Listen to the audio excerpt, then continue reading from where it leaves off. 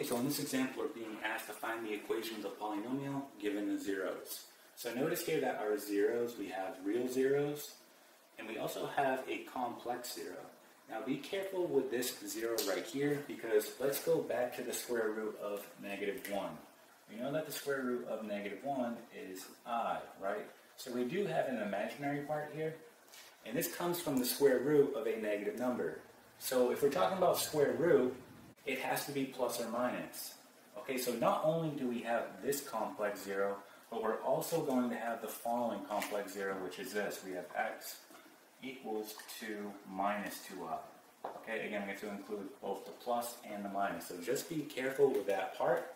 Okay, so in total we have two real zeros and two complex zeros. So now we want to find the polynomial that has these zeros. So let's erase this. Now we're simply just going to go in reverse. So we want to put this back into its factored form. So just going left to right, we're going to have x minus 2, and then we have x minus 3, okay, then we have x minus, and then in parentheses 2 plus 2i, and then we have x minus, and then in parentheses 2 minus 2i. Okay, and this would all be equal to 0. So at this point, if you were solving for the zeros, you would take each one of your factors, right, set it equal to 0 and solve, and hence, this is where the zeros come from. But again, we're going in reverse, so what we want to do at this point is expand this out. Now, let's work on these first two factors right here first, and then we'll work on these, all right? So just in the first two factors, we're going to use FOIL. So we're going to first outside, inside, last. We get x squared, all right, minus 3x, minus 2x, and then plus 6. We have like terms here and here that we can combine, so we get x squared minus 5x plus 6, okay? So let's just leave this right here, because now we have to expand out this part. And this one's a little bit more challenging. All right, but let's just go ahead and do it. So again, look at this negative sign. We want to go ahead and distribute that to each of our terms. Same thing here. So we're just going to rewrite this the following way. We have x minus 2 minus 2i. Okay? And then we're going to have x minus 2 plus 2i. Again, two negatives make a positive. Alright, and that's it.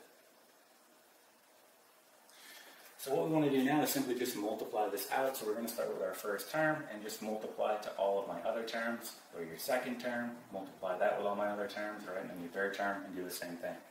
All right, so let's start with the first term. We're going to do x times x. We get x squared. I'm just going to write it right here. So x squared. Then we get x times a negative 2. That's negative 2x. Then we get x times a 2i. So plus 2ix. All right, let's move on to the second term. Negative 2 times x, negative 2x. Negative 2 times the negative 2, that's positive 4 and then negative 2 times a 2i, that's negative 4i. Okay, let's move on to our last term. Negative 2i times x, negative 2ix. Negative 2i times a negative 2, that's positive 4i. And then a negative 2i times a positive 2i, that's going to be negative 4i squared.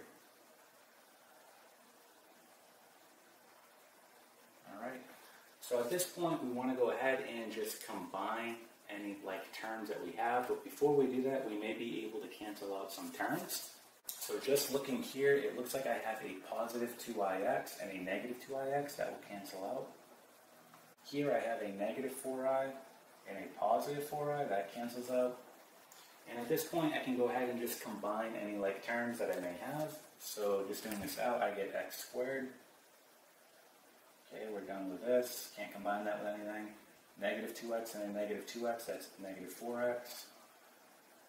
Okay, so we're done. Then I have positive 4, and then negative 4i squared. Okay. Now remember what i squared is. i squared is negative 1 because remember, you know that the square root of negative 1 is i, so if we square both sides, negative 1 is equal to i squared. So wherever I see an i squared, I'm going to replace it with a negative 1. All right? So here's an i squared. We can do this in our head. negative 1 times a negative 4 is positive 4, and then plus 4 is 8. So we get x squared minus 4x, and then plus 8. Okay? So, we're almost done. We're looking at this part now because we have to continue to expand this out right here and here. So let's go ahead and rewrite this, and then we'll expand it out. So we're just going to go ahead and erase this. So we have room. Okay, we're going to erase this here.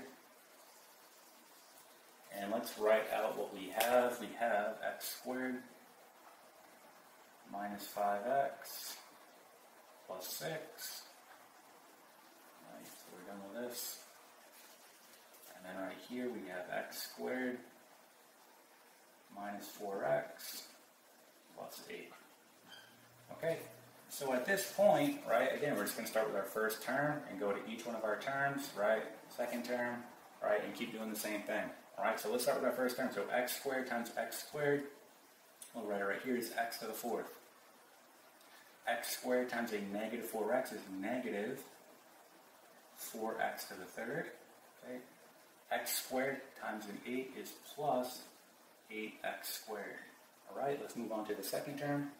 Negative 5x times x squared is negative 5x to the third. Negative 5x times a negative 4x is positive 20x squared, right? And then just continuing on, we get negative 5x times an 8, that's going to be negative 40x, okay? Last term here, we get 6 times x squared, that's positive 6x squared. 6 times a negative 4x, that's going to be negative 24x. And then 6 times an 8, that's going to give us positive 48. Right?